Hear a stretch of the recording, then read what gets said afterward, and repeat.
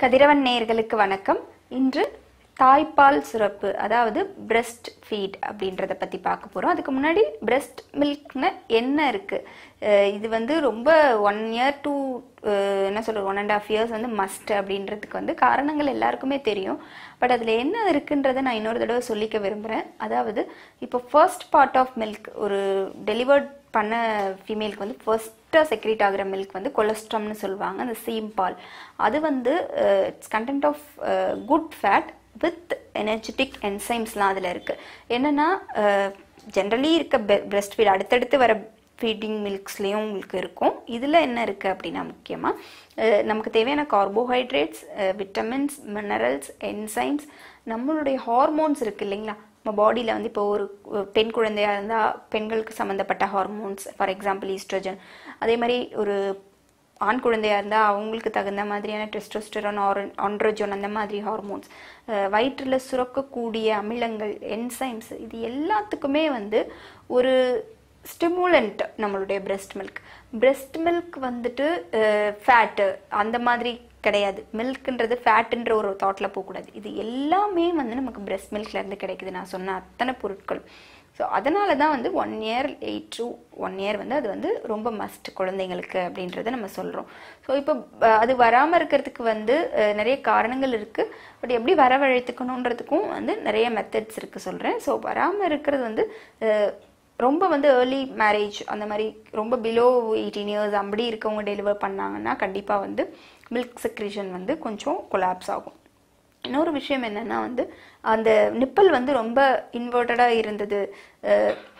பிரெஸ்ட்டுக்கு வந்து கொடுக்கக்கூடிய prolactin deficiency இருந்தது அப்படின்னா வந்து அவங்களுக்கு வந்து அந்த சக்லிங் ரிஃப்ளெக்ஷன் சொல்லியிருக்கேன். குழந்தை வந்து வாய் வைக்கும் பொழுது வந்து அந்த ஒரு ஒரு உணர்வு இல்லாமல் போகும். ஸோ அது வந்து குழந்தையோட மிஸ்டேக் கிடையாது. எதாக இருந்தாலும் நம்ம சைடில் இருக்க மிஸ்டேக்காக தான் இருக்கும். குழந்தைக்கு வந்து பிறந்த குழந்தைக்கு குடிக்கவே தெரியாது.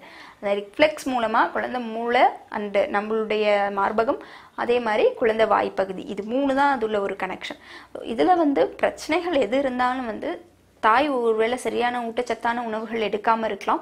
இன்னொரு விஷயம் வந்து குழந்தைக்கு வந்து வேறு ஏதாவது ப்ராப்ளம்ஸ் லோ பர்த் வெயிட் இருக்கலாம்.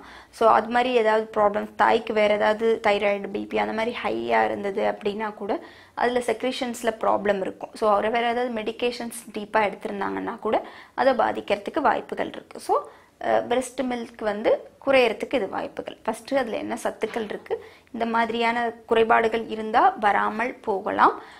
மூன்றாவது பார்த்தீங்கன்னா வந்து இந்த பிரெஸ்ட் மில்க் வந்து அவங்களுக்கு வந்து இம்யூன் டிசார்டர்ஸ்லாம் வராமல் பார்த்துக்கும். ஒரு தைராய்டு ஆகட்டும் சோரியாசிஸ் ஆகட்டும் இல்லை இன்ஃபர்டிலிட்டி வரைக்கும் கூட நம்ம திங்க் பண்ணலாம். ஏன்னா பிரெஸ்ட் மில்க் இல்லாதவங்களுக்கு தான் வந்து மோஸ்ட்லி அந்த கருப்பப்பை கட்டிகள் ஆகட்டும் இல்லை ஸ்பெர்ம் ப்ரொடக்ஷனில் ப்ராப்ளம்ஸ் ஆகட்டும் இந்த மாதிரி இம்யூன் பேஸ்டு ப்ராப்ளம்ஸ் அதே மாதிரி ஒரு ஒபிசிட்டி இப்போது பிரெஸ்ட் மில்க் வந்து கம்ப்ளீட்லி இல்லைன்னு சொல்லிட்டு பாட்டில் மில்க் கொடுக்க ஆரம்பிச்சுட்டு அதுக்கப்புறமா வந்து சாலிட் ஃபுட் கொடுத்துட்டேன் அப்படின்னு சொல்லுவாங்க. But it is good only but வந்து கேட்கறதுக்கு நல்லாயிருக்கும் பட் அந்த பிரெஸ்ட் மில்க் இருந்து லீனாக இருக்க குழந்தைய கம்பேர் பண்ணும்போது பிரெஸ்ட் மில்க் இல்லாமல் சாலிட் ஃபுட் சாப்பிட்டு நல்ல குண்டாக இருக்க குழந்தை அப்படின்றது வந்து it's not a good thing ஒல்லியாக குழந்தை இருந்தாலும் சிக்ஸ் மந்த்ஸ் செவன் மந்த்தாக பிரெஸ்ட் மில்க் மட்டும்தான் எடுத்துகிட்டு இருக்கான்றது தான் சக்ஸஸ்ஃபுல் ஸோ இது கம்பேரிசன் பார்த்துக்கோங்க. ஸோ எவ்வளோ சாப்பிட்றோன்றது முக்கியம் கிடையாது. எவ்வளோ லீனாக இருக்குன்றது முக்கியம் கிடையாது. எவ்வளோ ஃபேட்டாக இருக்குன்றது கிடையாது. என்ன மாதிரியான பொருள் நம்ம எடுத்துக்கிறோம் அப்படின்றது தான் ரொம்ப ரொம்ப இம்பார்ட்டன்ட் ஸோ அப்படியே அந்த பிரெஸ்ட் மில்கை இன்க்ரீஸ் பண்ணணும் அப்படின்னா நல்ல ப்ரோட்டீன் ரிச் ஃபுட்டெல்லாம் சாப்பிடணும். ப்ரோலாக்டின் இதிலெல்லாம் அதிகமாக இருக்கும் அது சாப்பிடணும். முக்கியமாக வந்து சிக்கன் மட்டன் அந்த மாதிரி பொருட்களில் வந்து கொஞ்சம் ஃபேட் கண்டென்ட் இருக்குது it induce the blood breast milk flow பூண்டில் நிறையா இருக்குது ஸோ அதை கருப்பட்டியோட சேர்த்து சாப்பிட்லாம். ஸோ அதே மாதிரி வந்து நிறையா நட்ஸு ஸோ அதுலலாம் நிறையா இருக்குது அப்புறம் அது மாதிரி எல்லாத்தையும் சாப்பிடுங்க. பிரெஸ்ட் மில்க் அதையும் மீறி வரலன்னா ப்ரோலாக்டின் மெடிசன்ஸ் ரிலேட்டடாக கொடுக்கணும். ஸோ அது ரிலேட்டடான ஹோமியோபதிக் மெடிசன்ஸும் இருக்குது அதை கொடுத்தாலும் கம்ப்ளீட்டாக சரிப்படுத்திக்கலாம். மீண்டும் ஒரு நிகழ்ச்சியில் சந்திக்கலாம்.